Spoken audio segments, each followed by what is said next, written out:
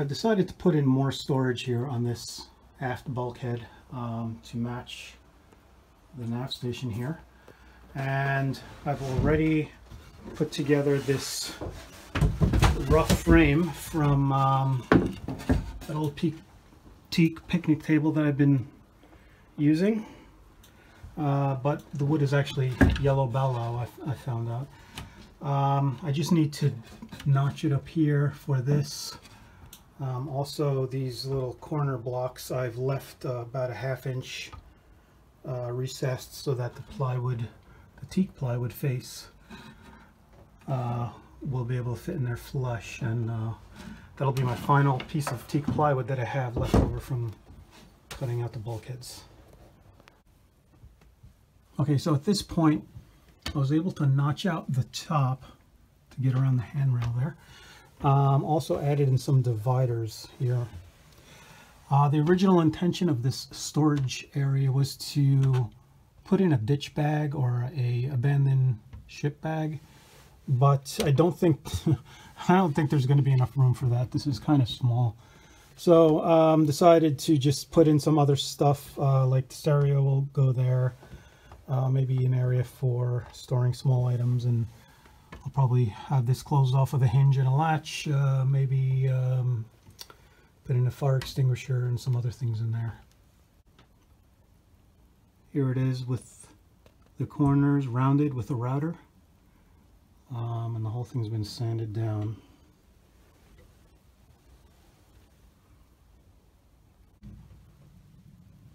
okay so I've added these face pieces. Uh, that's where the stereo will go. Storage, storage. Uh, mounting area for the fire extinguisher. Um, this will have a door on it with a hinge. There's a small shelf inside. Um, I still need to work out what I'm doing here uh, because the back of the the screens uh, stick out about an inch so probably will bump bump out a, a panel and then add a shelf to that for maybe for a uh, small pair of binoculars or something like that. And that's exactly what I did. Uh, put this shelf in here. I just screwed it in. Um, it's sticking out. Uh, this piece is, is away from the bulkhead about an inch. Gives me room for the gauge. Um, this one's obviously just hidden by the door.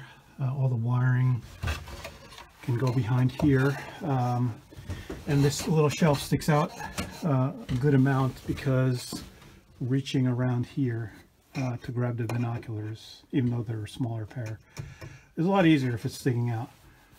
Also realize I probably have a bit of room here. I I put this one a little bit further outboard than this one so that I could attach maybe a small handle.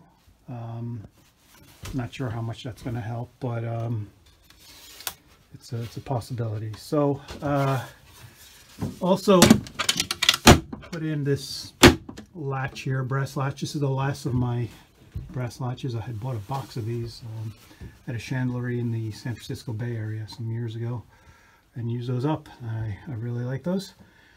Um, also, it's my last piece of teak plywood. I just have some scraps left, which I probably will use elsewhere. Um, so now uh, that it's temporarily mounted, I'm going to take this apart and varnish it. Okay, so put in my binoculars, fire extinguisher, stereo. Some compartments here. Um, and the open compartment here, um, I suppose this could serve as a table, although you probably wouldn't want to get this point in your neck. So, um, and I think that's a wrap. My next project is to install a little bit of storage here um, above the head uh, and just below the side deck. Uh, this will also hide that wiring terminal block and uh, radar junction box as well as some of the plumbing here for the uh, deck uh, for the holding tank uh, uh, pump out and the washdown. So And my first step is to put in a bottom to this storage uh, made out of marine plywood.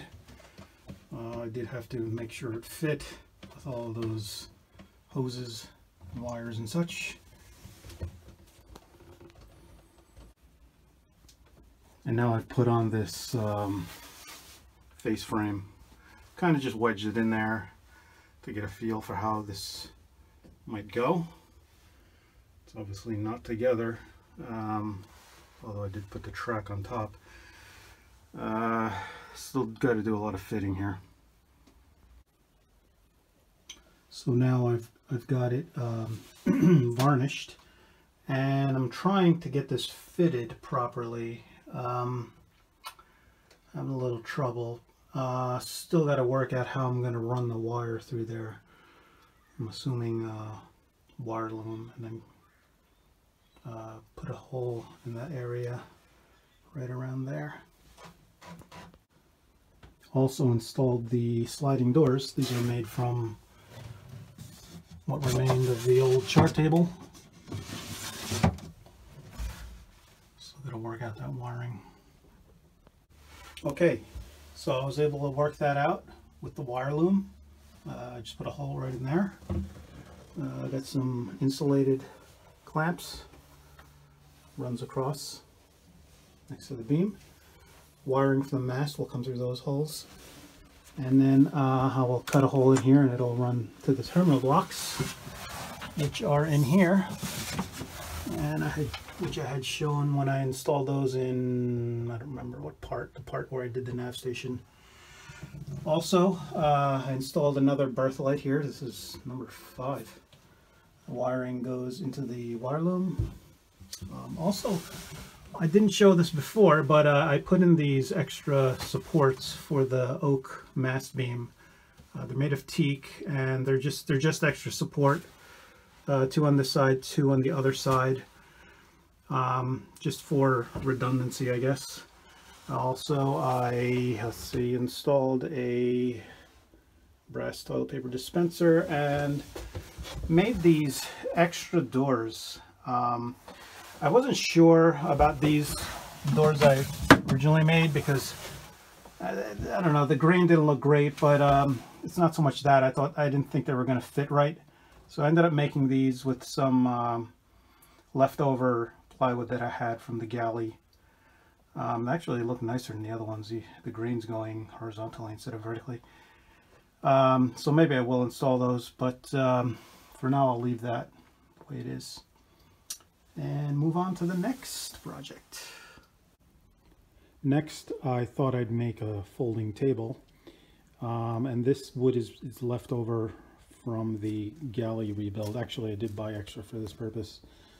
Um, and what this is, is um, two sheets of quarter inch teak plywood, one on top, one on bottom, and in the middle, there's a sheet of quarter inch uh, oak plywood uh, I'm going to glue all these together and that should uh, provide a very stiff board to begin with. So gluing it up, now clamped up,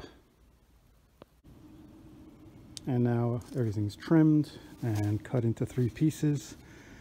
So the idea here is that these two pieces will fold out to a bigger table um, and I'm basing this design on uh, the cockpit table that's actually made by Edson.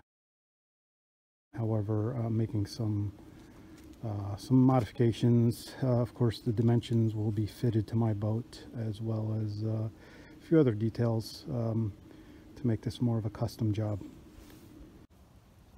All of the trim and molding has been cut and fitted. All of the trim has been epoxied on. And now put in these flush hinges, uh, which takes a bit of time because of uh, having to recess in each piece here with a Dremel and a chisel.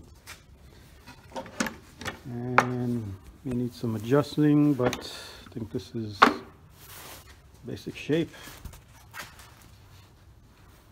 Um, did a little sanding, but needs a lot more. Now all sanded down, and if you've seen any of my other videos, it won't surprise you to see this next part, and that is yet another inlay. Um, and I started with just placing it on top, drawing around it, then cutting out the line, or just scoring the line with a, razor blade, and then cutting the veneer with the Dremel, and then just uh, epoxying it down with unthickened epoxy. Um, this one actually came out much better than the other ones. I guess I'm getting better at it. Um, no real gaps here in between the, the inlay and the, and the veneer of the plywood. So um, prep this for sanding, uh, rather I've already sanded, uh, prep this for varnish and um, see how it looks. And quite a bit of varnishing later. Uh, actually quite a bit, meaning a lot more than average. Um, here's what I have and I'm I'm somewhat pleased. This didn't come out perfect, but uh, it is a table, so it's going to get scratched up. Um, had some issue with this inlay. It actually lifted up um, after about eight or so coats. Uh, I had to kind of get in there and inject more epoxy, then re-varnish the whole thing. um, ends are kind of sticking up a tiny bit, but I, I think when you put a little weight on it actually levels out but even so um, you know as time goes on it's going to um, it's going to straighten. So um, we'll see. We'll see. Uh, time will tell about the practicality of this this uh, table in such a small boat. Um, next part is going to be the most interesting and that is the table leg uh, the boat did come with this table leg. Uh, I believe it's made of aluminum. And it screws into that fitting there in the cabin sole, as well as the same thing right there in the cockpit. Uh, I'm not sure if those were done at the factory. I have seen another Contessa with those. Um, still not sure if, uh, if that was a later edition though. It's mounted.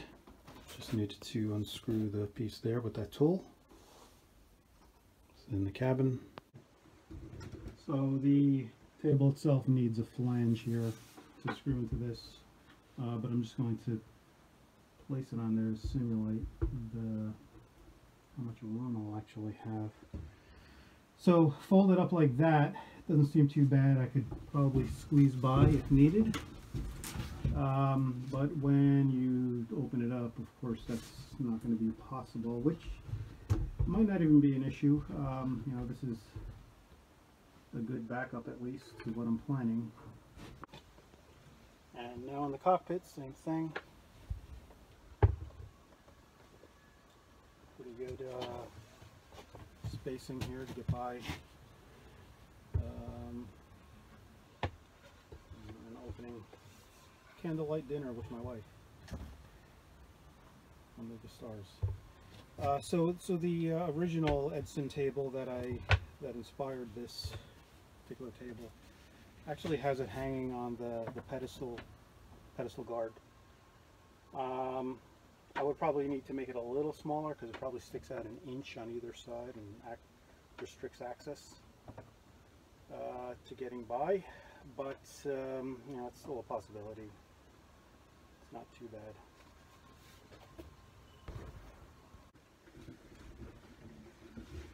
Okay, and the other idea I've had here comes from um, an old Volkswagen camper that I had 20 years ago. I used to take my kids camping in. Um, and that is the L-shaped swinging arm, uh, but with a, a, few modifications. And right now I'm still up in the air about this. So um, I have some ABS pipe and I could have just as easily done this with uh, PVC but ABS is what I had on hand um, and I think the black looks pretty cool.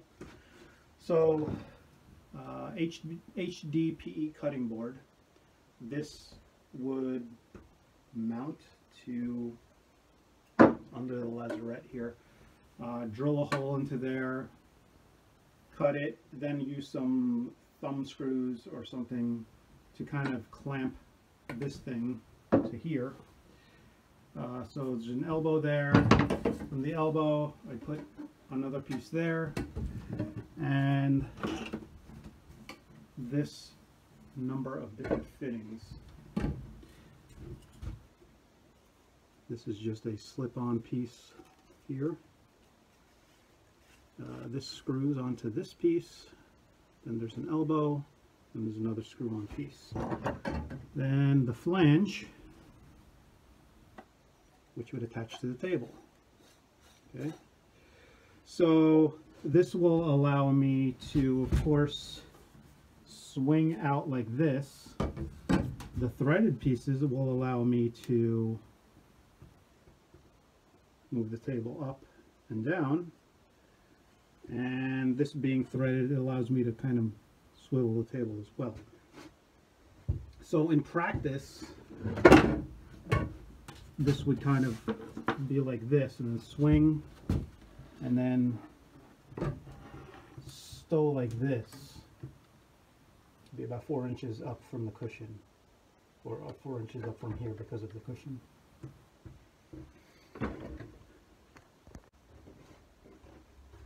And as a precaution um, when I turn this upwards I'll probably put a hole in here and then use this uh, spring-loaded clevis pin. It's got a little ball here. Uh, stick it in that hole to prevent it from turning back to the storage position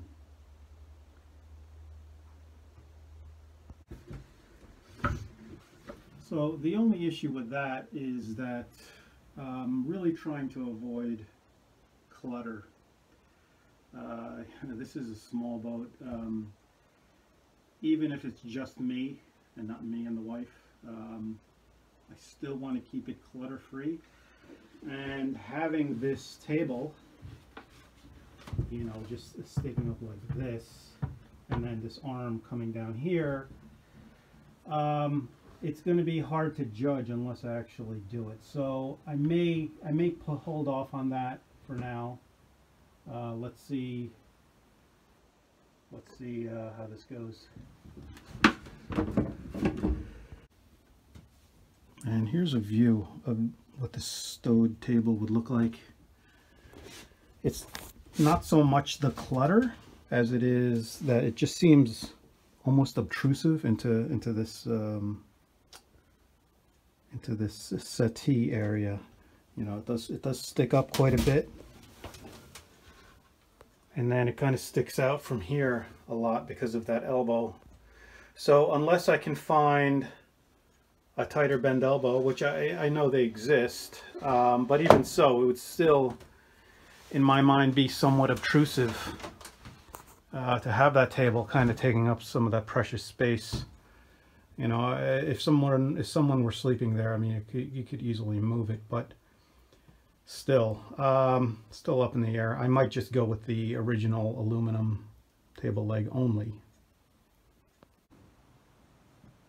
Okay, I've made a decision on the fate of the table, and what I've decided to do is to keep this center leg, uh, the one that goes right into the floor, uh, that may or may not have been um, installed by the factory. Um, the swinging arm or leg that I had showed earlier, uh, I'm going to just keep that on hand, keep the parts for it on hand, um, just in case I decide to change my mind, I can easily install that.